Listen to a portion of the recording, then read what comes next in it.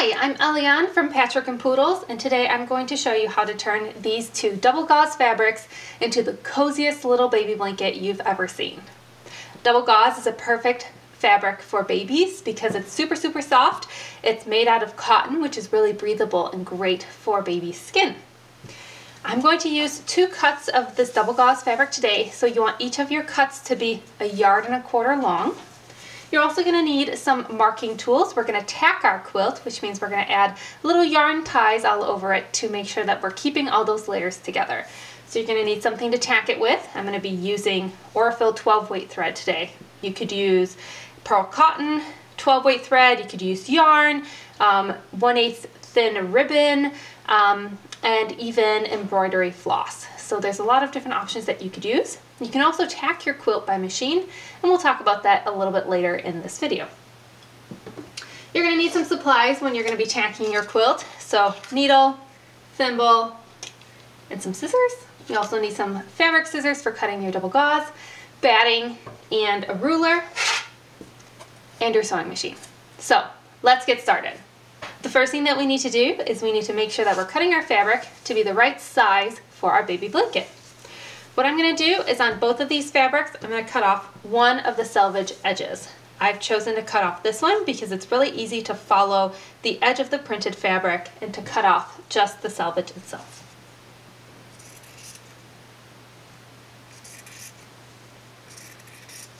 I'm using scissors here, but you could decide to use your rotary cutter and ruler if you have one handy.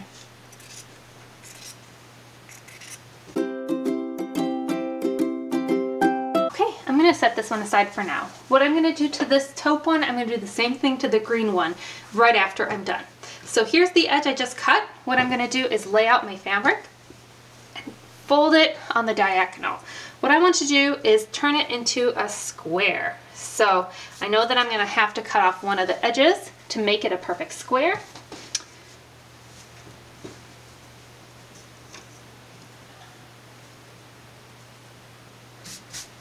Smooth it out gently as I go. Double gauze is very soft, which also makes it very flowy. Just take your time. Again, if you have a rotary cutter and ruler, you can always decide to do it that way as well. But if you don't, you can do it the way that I'm doing it today.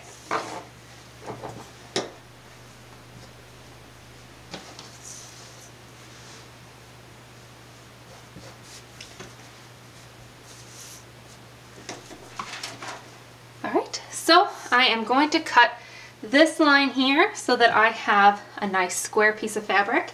And then I'm going to do the same thing to the second fabric, which is to cut off one of the selvage edges, fold it in half to create a square, and cut it so that I have a square piece of fabric.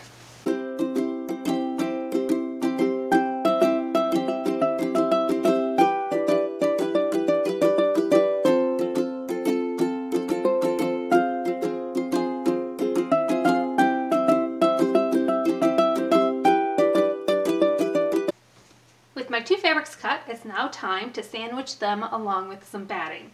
So the batting goes down first. I am using a cotton batting today, and because I really want the finished quilt to be really cozy, I've decided to use two layers of batting. So I've got both my layers of batting down,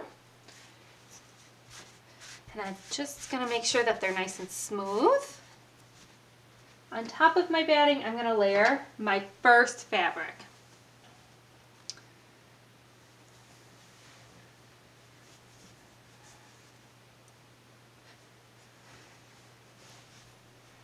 Going to stick a little bit naturally to the batting, which is great. We're not going to use any pins or anything um, right now. We're just going to want to make sure that it's straight and smooth. You'll notice that my batting is bigger than my piece of fabric, and that's because it's a little bit easier to wrangle this way. I am going to trim my batting after I stitch all the layers together. So you want your two fabrics to be the same size, but your batting can be bigger. It's going to be actually more helpful that way if it is. If you have a nice floor space, this is a good thing to do on the floor as you have a little bit more maneuverability than here on my table. with my first piece of fabric down onto my batting, fabric right side up. I'm going to take that second piece of fabric, lay it on top, and I'm going to put the two right sides of my fabric together.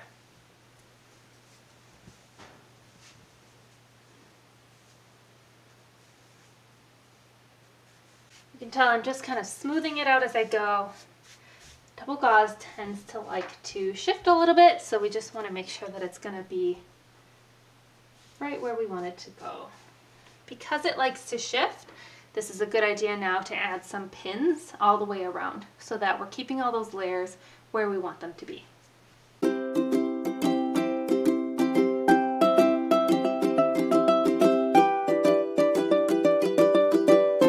Once I've pinned all the way around, it's time to sew. We're going to take this to the machine.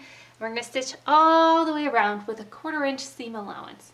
But we are going to leave about an 8 inch space open on one of the sides. So I can imagine that I'm going to start, you know, right between these pins. I'm going to start right around here, stitch all the way around my blanket, and then stop right after this pin, leaving an opening so that we can turn it right side out once we're done stitching it.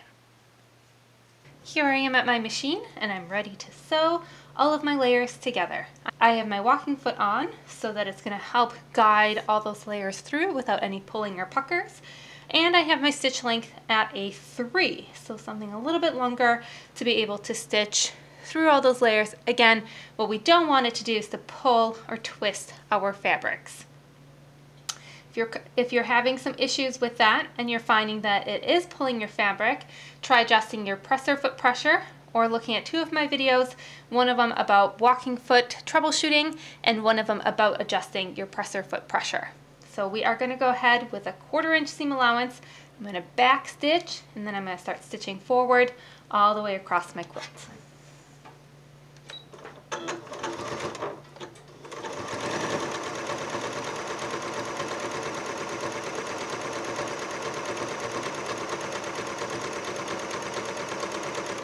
As you can see, I'm gently guiding the quilt, all those layers through the sewing machine. I'm not pulling it, I'm not twisting it. I'm just kind of holding it gently and helping it to guide through evenly. Here I noticed that my two fabrics, even though we started with the same uh, length of fabric and we cut them both into a square. You would think they would be about the same size. One of mine is a little bit bigger than the other and the smaller one is on top so that I can just follow the line of the edge of the fabric of the smaller fabric. Um, so that's the one that I'm going to use. So if you find that when you go to pin them together, one of them slightly smaller, put that one on top and just follow that one as your measurement guide.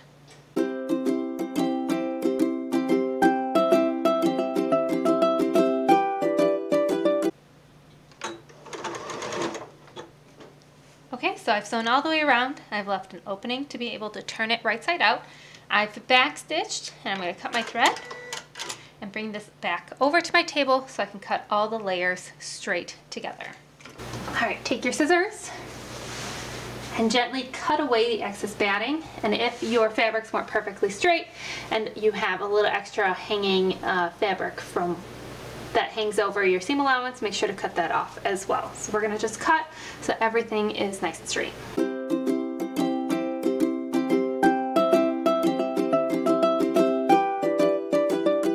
Again, if you have a rotary cutter and ruler, feel free to do that part with your rotary cutter as well. You've noticed that um, I haven't been too precise about my seam allowance, and that's totally fine. It doesn't have to be perfect. It's all gonna be hidden inside of our quilt. So now we're gonna turn it right side out um, through this opening. Something that can be helpful too is to clip the corners. Being careful not to clip into your seam allowance. Um, this is just gonna help reduce some bulk on those corners. It's gonna help them have a nicer, sharper point. So you can go ahead and clip the corners of your quilt, then turn it right side out. When I'm turning it right side out, what I want to do is I want to keep the batting with one of my layers of fabric, and I'm just going to take that top layer of fabric and turn that one right side out.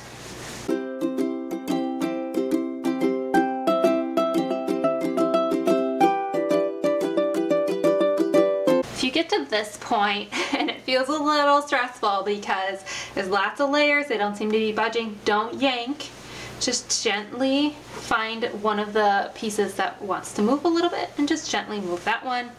And then you'll find that as you gently move them all, they'll start to unravel themselves um, from this big tangled mess that you have. There we go. I'm gonna go ahead and I'm going to poke out my corners a little bit. I like to use these scissors. They have a pretty blunt edge. If you have some scissors with a really sharp edge, don't use those to poke a corner out because you'll actually poke a hole in your fabric. Something else that you can use is the edge of a pen that's not um, obviously got ink on it uh, or a screwdriver, something that's got a sharpish, bluntish edge to be able to poke out your corners.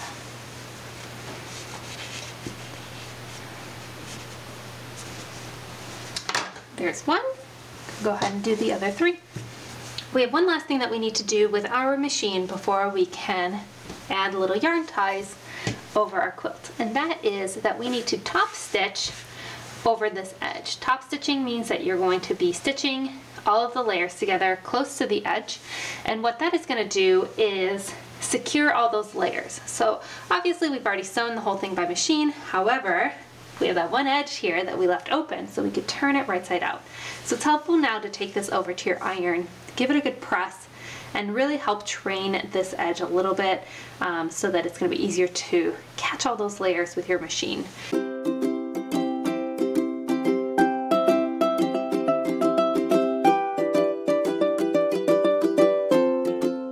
So I took this over to the table. I cut away the excess batting I flipped the whole thing right side out using the hole that I had left here open and then I pressed all the edges flat. Now we're going to go ahead and we're going to top stitch about eighth of an inch away from the edge to not only enclose this hole that we made, but also to encourage these fabrics to stay on their respective sides of this quilt. I'm using the uh, stitch length of three again, and I have my walking foot on. I'm gonna back stitch and then go ahead and stitch all the way around, again with an eighth of an inch seam allowance. Take this one slow, uh, definitely take your time.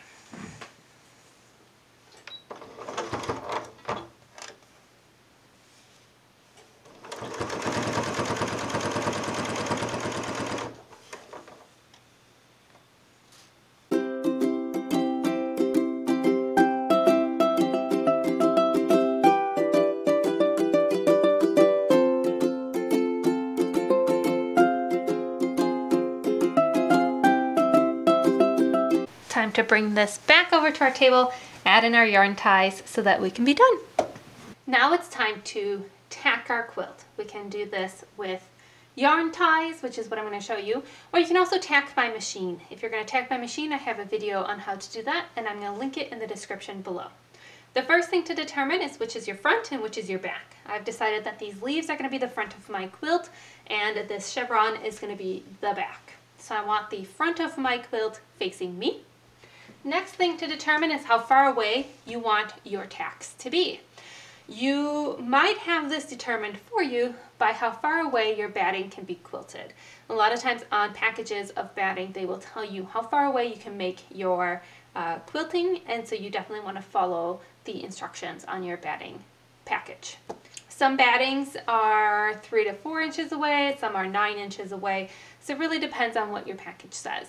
If you can quilt it up to nine inches away, you might decide that that's how many tacks you want, or you might decide that you want some more ties in between, in which case you would def definitely want to add that in. So that's the first thing to determine is how far away you want them. You can also decide that if you don't want to use a ruler, you can use your hand as a guide and just tack every hand width away. I've decided for this quilt to do them five inches away. I'm going to start in one corner and I'm going to work my way across the quilt. So I'm just folding it up a little bit so I can show you what I'm going to do. But I'm going to start over here in this corner. I've decided to do them five inches away, so I'm going to start five inches from the corner. So here is going to be my first tack. You might decide that you want to mark all of your quilt tacks first and then go ahead and start tacking, or you might want to mark them as you go. Um, or you don't have to mark them at all. If I say, okay, here's where I want to go, maybe I just put my needle down, come back up, move my ruler, and decide where I want to put it next. If you're going to mark your quilt, I recommend using tape or chalk. Um, I wouldn't recommend a hair marker just because gauze is such a loosely woven fabric. You wouldn't want to rip it or disturb it any more than you have to.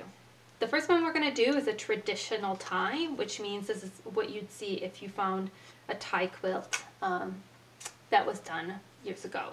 A lot of times traditional tie quilts used to use yarn, uh, but today I'm using 12 weight thread. I'm going to double it so I get a little bit more uh, oomph, a little bit more um, dimension and you can see it a little bit better. So I wanted the ties to be part of the feature of the fabric. If I wanted to hide my ties, I definitely wouldn't be using a dark thread. I might use a white thread and then I would want to use just a single piece of thread instead of doubling it up. So I have it doubled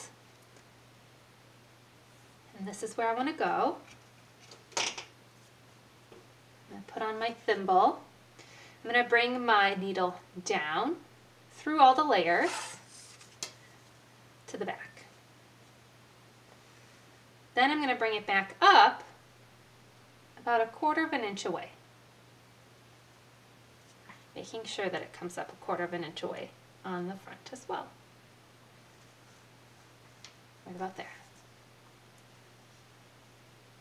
Pull my thread so I leave a little tail and I'm going to double knot, so a single knot,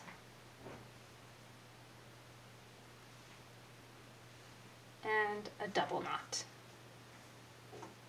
I'm going to cut this. You can leave as much or as little as you want. If you want a lot showing like this, you could also cut it, cut it a little bit closer. And you can see then on the back, you've just got this little, this little divot that's tying and holding all of your layers together. So that's a traditional tie. So you can go ahead and you can tie your quilt all the way across as far away as you've determined till the whole thing is done. And then you're done and you're ready to gift it or keep it. I really am happy that I used two layers of batting in here. It makes it super, super soft and cozy. And it's just a really fun, easy project. Thanks for watching. If you have any questions or comments, leave them below. And as always, um, if you enjoyed this video, please subscribe so you never miss another one. Thank you.